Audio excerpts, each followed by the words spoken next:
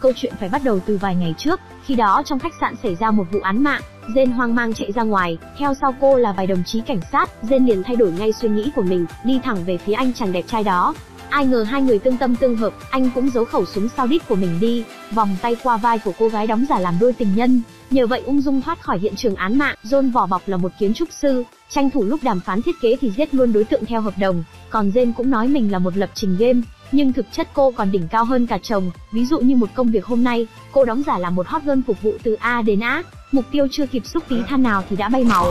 Khi John về tới nhà thì chỉ nhìn thấy Jen đang làm cơm tối, cứ như vậy dòng dã suốt 6 năm trời, hai sát thủ sống chung với nhau mà không hề hay biết về những công việc thực sự của đối phương, nhưng cho dù công việc rất kích thích, nhưng mà cuộc sống hôn bắt đầu không còn vừa khít như xưa. Anh kéo hành lý của mình đến nhà kho, mở lên hầm vũ khí bao năm giấu kín, đây mới là gia tài thật sự của anh. Anh lấy cả đống tiền cùng vũ khí tối tân nhất, nhưng anh không biết rằng, vợ của mình cũng không phải dạng vừa, mà còn thông minh và dạng to hơn anh nữa. Thì ra phía sau của lò nướng bếp là mật thất của cô. Cơ quan sau khi được khởi động, đủ các loại vũ khí sát thương mở ra ngay trước mắt. Không chỉ vậy, Zen còn có một đội nghiêm chỉnh đứng sau hỗ trợ từ xa, một chiếc xe Việt dã xuất hiện phá hỏng tất cả, phá luôn cái bẫy của Zen dày công sắp đặt ra. Zen nhìn ống nhòm cũng hiểu, nhìn qua cũng biết chắc chắn đây là dân chuyên nghiệp rồi. Cô dứt khoát dùng súng bắn cho hắn một phát. Đương nhiên là John đã mặc áo chống đạn dự phòng nên không hề hấn gì cả, nhưng phát súng đã làm anh rất chi là căng bìu và điên tiết. Rốt cuộc là đứa nào không có mắt dám làm phiền anh. Anh cầm súng phóng ra một quả tên lửa, khiến căn phòng phút chốc nổ tanh bành.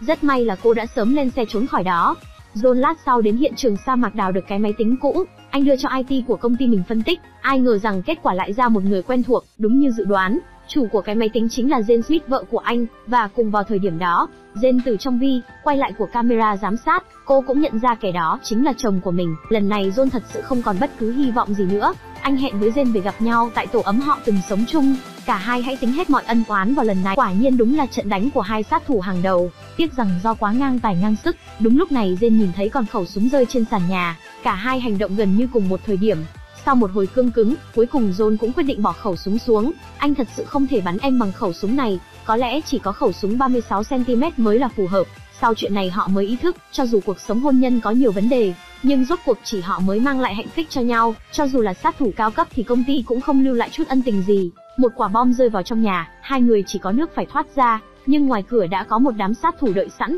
Sau việc này John tìm đến người bạn của mình thì mới biết được, hóa ra công ty sát thủ của hai người đã sớm đối đầu, bất ngờ thay đến khi ập vào lại không thấy ai đâu cả, bởi họ đã sớm trốn vào đường ống nước, thành công thoát khỏi màn tập kích bất ngờ này, nhưng trốn mãi cũng không phải là cách, đã đến lúc họ đưa ra một quyết định lớn nhất trong cuộc đời, so với việc tự tách ra ai đi đường đấy, rõ ràng không bằng cả hai hợp lực chơi ván cuối cùng, dùng kỹ năng thượng thừa của mình chứng minh cho công ty thấy họ đã sai. Hai người cứ đánh hết tầng này lại đánh tới tầng nọ, John thì đánh phía dưới còn vợ thì bắn tỉa phía trên, hai người phối hợp hết sức ăn ý, nhưng cuối cùng cũng không tránh khỏi những vết đạn chi chít khắp người. Nếu không mặc áo giáp e rằng người chả khác gì tổ ong, mà đối phương vẫn còn nhiều vô kể đang bao vây tứ phía. Hai người chuẩn bị hết súng đạn mình có mang ra, trong tình yêu không thể tránh khỏi những hiểu lầm. Nhưng khi đã tin tưởng vào đối phương, thì có thể cùng nhau vượt qua mọi hoạn nạn.